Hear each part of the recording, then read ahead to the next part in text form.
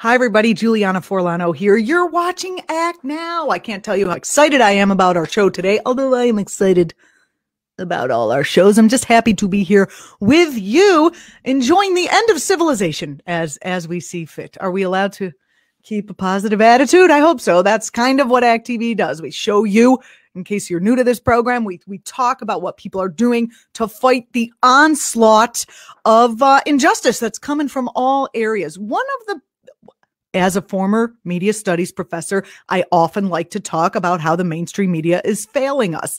I remember when I started my professorship, uh, nobody knew that that was the thing. And now it's kind of cool because activists, radicals, we all know, you know, liberals, we all know that that the mainstream media is kind of, you know, they're not telling the whole story, and that is putting it mildly. But today on the program, we have senior economist from the Center for Economic Policy and Research, Dean Baker. You know, Dean, he writes Beat the Press, where he comments on the reality and non reality of some of today's uh, not so accurate most of the time, uh, corporate friendly economic reporting. Dean is going to talk to us about the continued media disinformation around the Build Back Better Act and Reconciliation Bill. And we're going to ask him about the economic effects of both of those things and when we're going to feel them. Are we going to feel them soon? This is exciting. I also since we did this interview earlier, I also want to break to you that I did kind of squeeze in a personal question about whether it was a good idea to sell my used car now and buy a new one or what the deal is with that. And uh, it's nice to have an economist weigh in on, on such things. Anyway, here is my interview with Dean Baker. Hope you enjoy it.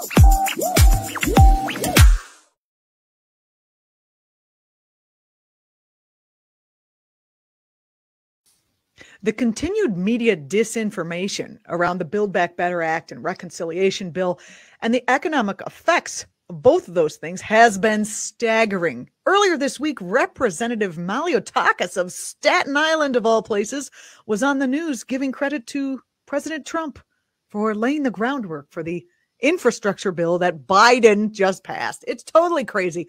There's more lies out there, though, and here to give us the truth about everything, Dean Baker, senior economist at the Center for Economic and Policy Research and writer creator of Beat the Press, where Dean comments on the reality behind some of today's not so accurate economic reporting. Dean, welcome back to the program. Thanks for having me on, Julianna. So, can we talk about the infrastructure bill that was just passed? What effects do you believe we might see in the economy? Will they be tangible to average Americans? Well, they will be tangible, but one of the things that I think people should understand is we probably are not going to see much of that soon. Um, a lot of this is infrastructure. And of course, it was a big joke back in 09, 2010 with Obama's stimulus that there are no shovel ready projects. Now, that's of course overdone, but a lot of these are projects like building a new tunnel under the Hudson River between New Jersey and Manhattan. That's not even going to get started probably till 223, 224. You don't just build that overnight. Mm. So you have a lot of things like that. Now, there are things like replacing lead pipes that we will see work on very soon um, extending broadband. We will be seeing progress on that very soon. So, and also the incentives for, for clean energy. We will see uh, companies recognize those uh, incentives for electric cars, uh, charging stations. So some of those we'll be seeing probably 222.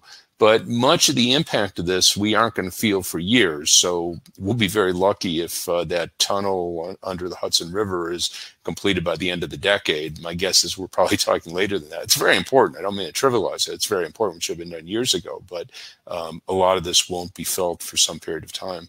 It, will start being felt under the next Republican uh, administration, and then they can take credit for it. Well, one of the things you mentioned, uh, the representative from Long Island, uh, I don't know if she's, well, Staten I'm sure she's Island. heard by now. Staten Island. I'm sorry, Staten totally Island. different islands, but very similar. Yeah, yeah, no, no, I know enough of New York. I was just a slip of the tongue. Yeah. But anyhow, uh, Donald Trump denounced her, denounced all the Republicans who supported the bill, which includes, of course, Mitch McConnell in the Senate. So um, anyhow, uh, she might want to give Donald Trump credit, but he doesn't want to take it. Ooh, those coattails are very slippery. You got to watch out. Yep, that's for sure. That's uh, well, uh, they they chose their horse, and we'll see how she rides it. Which sections of the remaining Build Back Better Act do you think will have the most positive effect on the economy as it stands now? Well, uh, certainly the uh, child tax credit's a real big deal. I mean, the, the, the act would extend that, so that's already in place. But the question is extending it past 222. Um, in fact, I think as it stands now, it ends at the this year if they don't extend it. So that's very important. Uh, pre-K is, very important, both for uh, allowing making it easier for for parents to work, but also we know it's very important for children, particularly for low moderate income from low and moderate income families. Um, child care, we'll have to see what that looks like, but if that gets preserved, again, a very big deal both for the kids, but also, again, allowing parents to work. We know that's been a huge issue in the pandemic that a lot of parents, mostly mothers, find that they can't work because they can't have uh, quality childcare, affordable childcare for their kids, and they'll- get that with this bill. So I'd say those are the biggest things. I would have loved to seen progress on Medicare expansion. We'll see if anything ends up in there. Um, it's Medicare, of course, uh, has been relatively little change since it was designed in 65. We badly need things like dental coverage, um, eye coverage, hearing coverage. We'll have to see what comes in there. I also would very much love to see an out of pocket cap because it's crazy with the I- current Medicare. I mean, it's a good program, but it pays 80% of your bills. But if you have a bill that's a hundred, two hundred thousand dollars, as some people will, um, they don't have that money. They, they can't pay the 20%. Mhm. So, so it really needs to be modernized, and I hope we could at least make some progress towards that. What are the sticking points in the reporting about these issues that are misleading or just blatantly false? Well, one of the things I- I- I'll point to two things. One is that they almost never put the numbers in any context. So the original Yes. proposal coming out of the Senate Budget Committee was three and a half trillion. Uh, They never point out this is a ten-year expenditure. So uh, it's it's a little more complicated than that because some of them are, are five years, eight years, but whatever. The point was it's not in one year. So that really was telling people almost nothing. They also, also often threw in the adjective massive. So I think a lot of people think it's called the massive spending bill. Yes. Um, the, the other part on, on, on that side is that let's take it over 10 years. Again, it's a little simplification, but you have three and a half trillion over 10 years, and now we're talking about 1.8. So we're talking about somewhere between 180 billion and, and 350 billion. Is that a lot of money? Well, it is to you and me. But to the federal government, uh, 170 billion, 180 billion, if that's what we're talking about now is annual expenditure, that's about seven tenths of a percent of GDP. It's less than a quarter of the military budget. Um, exactly. that, that's important. You have to give it some context. So there was a real effort to say, oh, this is this enormous, massive, huge. It's it's important. It's not a trivial amount of money, but the federal government has spent this much before and often much, much larger without even raising a without even blinking an eye. You go back to 2001 and we started the war in Iraq, we increased the military budget by about one and a half percentage points of GDP. That would be about 300 billion a year. And again, no one batted an eye. I mean, that was okay. We had to do that. And we probably didn't have to do that, but whatever. That was the sentiment. And uh, we, we didn't worry about how we're going to pay for it. And when there's something important, you, you, you spend the money. And in this case, of course, they are actually proposing to pay for it with tax increases on the wealthy and on corporations, basically taking back part of the, the Trump tax cuts from 217. So Why I not think all of the tax cuts that Trump put in? Why only some? And why not go beyond that? Well, they're not even going to be able to do that because you have two Democratic senators. I should pick on uh, Senator Sinema in particular because she's been the bigger obstacle here, who doesn't seem to want them to take back any of it. So, so in terms of what would be reasonable, yeah, I mean, the, the wealthiest people in the country, U.S. corporations, they didn't need tax cuts. So taking it back, I think would be just fine. I noticed But that they in- call the Sinema and Manchin. They a, a lot of times the news uh, refers to them as moderate Democrats or centrist Democrats, and I think they should be called, you know, something more extremist Democrats because to the Democratic Party as it stands now, they literally are extremely on the right. What? Well, a friend of mine came up with what I thought was a very fair and neutral term. Just call them holdouts because that's what they are, you know, because you get to the situation, you call them moderate, you call them centrist, that implies a political philosophy. And I can't say I've studied either of them closely. But yeah, well, I don't think I don't think you find evidence of a coherent political philo philosophy in either of them. So you could say, yeah, they're responsive to corporate interests, which I yeah. believe to be true. That's but but, but but if you don't want to be pejorative, just say they're holdouts because that, that is what defines them right now. We don't know their political philosophy. we know honestly. well, I, mean, I don't mind them being pejorative, but I'm just saying if I'm talking to someone at the New York Times, they aren't going to want to use a pejorative term. So I'll say, why don't you just use a neutral term that accurately defines them? Because you, you don't know that that Sinema's a centrist. Centrist against what? You don't know that Manchin's a moderate. Moderate against what? He's a holdout. That's why we're talking about them. Absolutely. Oh, gosh. Um, you also said uh, you, you said a moment ago about the we just got off uh, talking to a national security expert about climate change.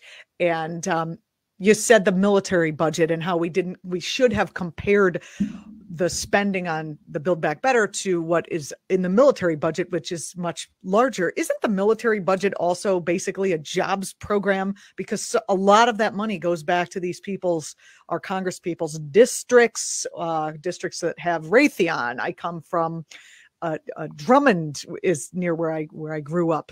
There's isn't it kind of a jobs program Absolutely. And it's it's important to understand, you know, again, we could argue where the military is doing things we like, where it's doing things we don't like, but the fact that a lot of companies are making money on it, that's indisputable. So Raytheon, when they say if, if someone in Congress wants to cut a program that they're the main supplier for, they're going to be arguing about it. They're going to say, oh, it's really important because we need this to protect us against China or whoever they might think we're claiming we're protecting ourselves hmm. from. But they make money on it. That's just a fact. So the idea that this is all just about national security, well, no, these companies, again, maybe they believe this is important. I have no idea, but they absolutely know they make lots of money on it. So that's a part of the story that shouldn't be left out. By the way, I, I've been around long enough. I recognize how politics is done. And this is one of the reasons why I think much of the Biden package is so important on climate change is that it gets a foot in the door. So when you have more companies that are making money producing clean energy, producing electric cars, producing batteries to store energy, they're going to be pushing. They're going to be like the military contractors. They're going to say, hey, you have to give us more. So, in that sense, you know, the people who com- complain correctly that what he's put on the table is grossly inadequate, and of course, Congress isn't going to give him everything he asked for, they're absolutely right. But it's still a huge, huge deal because as we get more companies that stand to profit from producing clean energy, producing electric cars, there's going to be more political pressure to support a, a faster and more and larger transition. Oh, well, that will be great, and I'm looking forward to that. We can't we can't possibly go fast enough after the conversation I just had about state collapse and impending doom. You know, uh, yeah, as fast as possible would be would be excellent. Yeah, no, it's a huge deal, and it, it's you can't exaggerate the impact. And I just you know, I, it's a generational thing. I mean, I think of the things I've been able to enjoy. I've been up to Alaska a couple times, and um, I enjoy seeing wolves in the wild, which I've been had been lucky enough to do. I, would like to think future generations would have that option. You know, in addition to everything else that we all recognize about rising sea levels and yeah, the, how, the option to just like have food. you know, that like would be good too. That would be good too. Yeah. Yes. Um, when it, when it comes to like the more granular parts of the economy, we're seeing uh, what I would consider a sharp rise in gas prices, in food prices. Can you give us some context for why this is going on, and uh, how dangerous is it to the economy as a whole? Well, the gas price story is that we saw a huge cutback in demand associated with the pandemic. This isn't a U.S. phenomenon; it's a worldwide phenomenon. Of course, gas prices, oil prices, I should say, are worldwide. And we're coming back from that now. So the economy is growing rapidly. Uh, we're well above now the pre-pandemic levels and likely to be further above in the in the current quarter. And that's true everywhere. That's true in Europe. That's true in, in Japan, China. Um, so there's a big increase in demand for oil and all forms of energy, really. And the supply, a lot of supply was idled during the, the pandemic, and it hasn't all come back online. So we have much more demand than supply, which presumably is a temporary phenomenon. Now, I have to say, I sort of have mixed feelings. Do you want a lot more oil to be pumped out of the ground? Well, if you want lower prices, then I guess you do. But uh, but that, as we know, is very problematic. So that's the story with energy. With food, I think a lot of it is supply chain issues. So we've been hearing about this, and we've you know the focus has always been the docks and the imported goods sitting on the docks. That is part of the story, but it's only part of the story. A lot of it is moving goods around in the U.S. And in fact, the reason the goods are piling up on the docks is they don't have enough trucks and truckers to move it from the docks. And that happens internally as well. Mm. So you've seen a huge increase in shipping costs, and obviously food is an item that has to be shipped quickly. So a lot of uh, a, lot of uh, manu- a lot of wholesalers have to pay higher shipping costs, and that gets passed on in higher food costs. I should also point out, though, food prices are always erratic. So there's been a lot of hype in the media about the big rise in food prices, and we just got the data today from the the Bureau of Labor Statistics. It's 5.4 percent over the last year. It was actually higher. The the rate of inflation was actually higher in food prices in the spring of last year. And if you want to go back a little bit in 2011, it was much higher. It was over 6%. So I know that yeah. hits a lot of people, but this is not, this is not like some um, unprecedented story. We've seen this many times in the past. I know, but it's not like they went down and then they raised up another 5%. So if we take the past five years or the past six, seven years, I mean, it seems like those, these rises are, are higher than one might expect to be normal. Well, I, mean, they're certainly rising we, faster than wages can keep up with spending to to get. Well, actually, at the bottom end, a lot of workers are seeing very rapid pay increases. So, restaurant workers, their wages, hourly wages, risen twelve point four percent over the last year. And if you look at the bottom quintile more generally, bottom twenty percent of uh, workers, it's risen about ten percent over the last year. So, their wages are more than keeping pace with food prices. Um, when you get more towards the middle, that's less true. About so. my wages, Dean, my wages. well, we can talk about mine too. Not doing great, but uh, but anyhow, you know, if we talk about much of the population, again, particularly at the bottom, they are doing well. How this pans out in in uh, the months months and year ahead, hard to say. But for now, at least they're doing pretty well. The other point, I think I made this earlier, that a lot of the inflation that we're seeing are things like you, new and used cars. Used cars, I think, have risen like 28 percent over the last year. Mm-hmm. Well, that's almost certainly temporary. That's the supply chain shortage, particularly semiconductors. There's there's a worldwide shortage of semiconductors. We always had tight supply. There was a big fire, a fire in a big factory in Japan that idled it and until that one's back online or we have others uh, expanding capacity, there will be a shortage of semiconductors, which limits how many cars are being built. But at mm-hmm. some point, that will be reversed. And instead of just seeing price in, inflation in cars, used cars slow, that's going to be reversed. We might see very rapid declines in, in car prices, and particularly. So you're saying prices. I should trade mine in now, is what you're telling me. well, if you could get by without a car for a while, because right. if you're going to buy another car, then you don't you don't end up ahead on that deal. But if right. you could say uh, trading your car today and wait four, five, six months to get another car, you're likely to do pretty well. Hmm. Hey, I like this. Uh, adv- I'm just having you on the show for personal uh, advice. I mean, I'm usually hesitant on giving uh, personal, but I feel pretty confident. And that's actually what. Well, I'm not doing that myself. I'm delaying. I want to uh, get get a new used car, mm-hmm. um, but I'm delaying doing that until the prices fall because I would be a net loser trading in for you know more valuable, higher price. Uh, yes, we'll take advantage of people who absolutely need a car right now and desperate condition. By I have a friend who did that. She was very happy. She got a very good price for her uh, used car. You know, we're normally you're a regular guest, and I'm glad to have you back on here. But some questions that have been kicking around in my mind since a few months ago when you were last on. Uh, we over the summer we saw an enormous amount of climate change related destruction. We saw the fires out west. I got hit by two hurricanes, and I live not in hurricane area. So, okay. Um, plus there was flooding. There's, uh, you know, are we seeing a, a, toll on the economy at this point, or is the United States economy able to absorb this? Oh, we're definitely seeing a toll. I mean, those, those, we, we've idled some capacity. One of the, um, one of the sources, supply chain problems, if you like, is you had a lot of capacity idled in the Gulf in Louisiana, chemicals. So uh, I remember there's hearing there's a shortage of a number of paints, and that's because chemicals used to make paints come out of the Louisiana area, and uh, you had plants that were shut down uh, mm. for several months. Mm. Um, so, so we're seeing that. What you mentioned, New York, obviously, you have to. Um, you have people that can't go to work. Um, then you have uh, big expenses in repairing the damage. Um, so we're seeing that. And where I am in uh, the Southwest, we have severe drought. So that uh, that's affected what you know our agriculture here. I mean, we don't have necessarily that much agriculture, but what we have here is uh, we have a cow economy. So uh, people graze cattle and uh, feed them some alfalfa.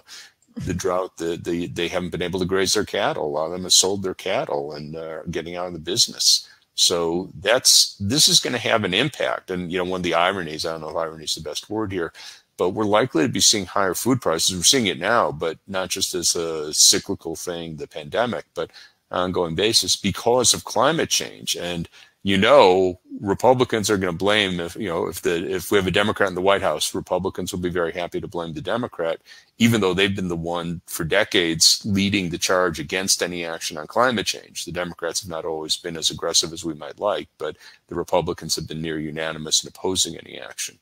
Have you seen any reporting uh, in the Financial Times in the financial um, financial media sphere that talks about the connection uh, that we're seeing with the increasing food prices and climate change? I have seen zero, other than you know, like people who report on climate change and the potential for this.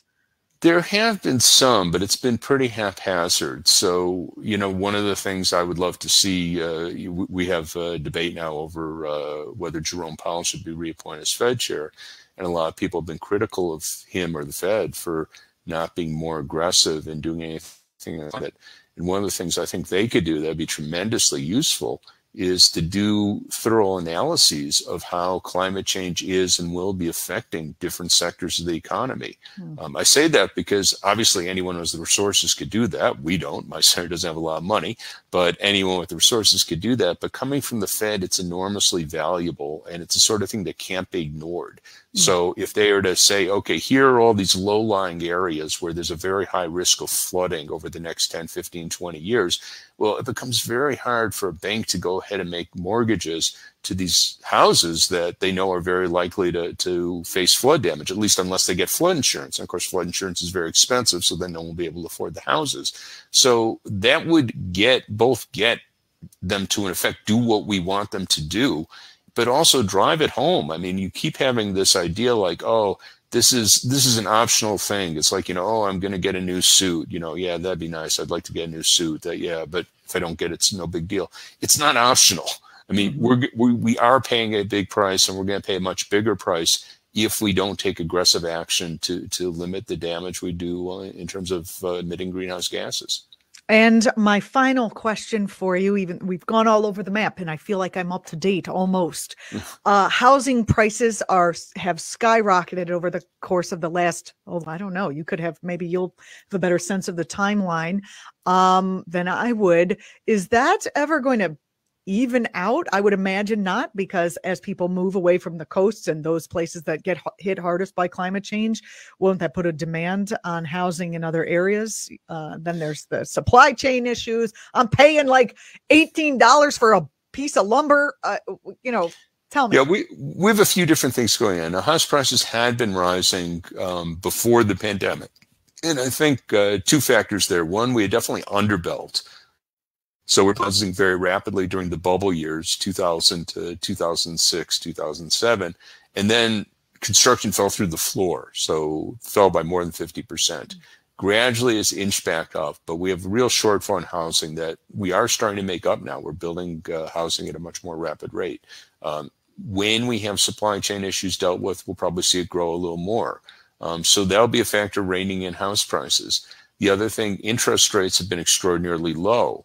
Um, that predates the pandemic. They fell during the pandemic, but they've risen back somewhat to where they were. They're still lower than than where they were pre-pandemic. Mm-hmm. I do expect at some point. I'm not saying you know next month and maybe not even next year, but I do expect we will see some rise in mortgage rates, which will have a downward impact on house prices. So just to be clear, I'm not projecting any sort of crash, but if house prices drop five or ten percent due to say a rise in mortgage rates of say a percentage point. Again, they'd still be historically low, so that wouldn't be a really high mortgage rate. Um, I think that's a very plausible story. I should also mention, and, and this isn't so much because of climate, I mean, maybe in the future, but we are seeing a real shift in, in housing so that the biggest price increases have been in, in relatively low cost areas. So we've seen big price increases in places like Detroit, uh, Minneapolis, a lot of smaller towns, and New York, Boston, the really expensive places house prices have not been going up rapidly. Well, how farther up can they go? The one and a half bedroom next door to where I used to live is like a million five. I mean, how? Yeah, yeah. Well, well, you might see some declines. Again, I'm not going to predict any sort of crash, but you might see some declines there because you are seeing this is the work from home story that a lot of people find they they could have an, they could work out of New York, have their office in New York or employer in New York, but they could live pretty much anywhere, and people are mm-hmm. taking advantage of that. And I think that's a great thing. Dean Baker, senior economist at the Center for Economic and Policy Research, writer, creator of Beat the Press. Thank you so much for being here. It's great to have you back, and uh, I look forward to your return in maybe a month or so. Sounds good. Thanks a lot for having me on. Thanks. Thanks, Dean. You're watching ACT TV. Stay tuned. Stay with us. More to come.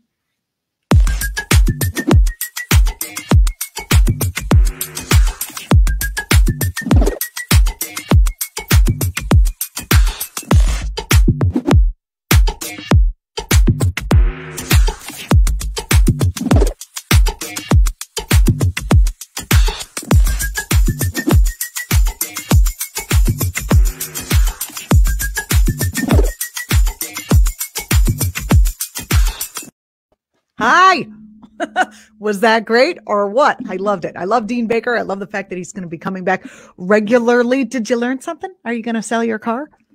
I'm not. Anyway, uh, I have a lot of great stuff coming up this coming week. Guess who's joining me on the program? I am very excited to say that on Thursday at this very exact time, Ryan Grim, that's right, from The Intercept, and also uh, one of the well, the sane anchor at uh, at the the Hill uh, on on on YouTube's. The show is called The Rising, that made by The Hill. Ryan Grim is joining me on this program to do some headlines. Isn't that going to be fun? It totally is.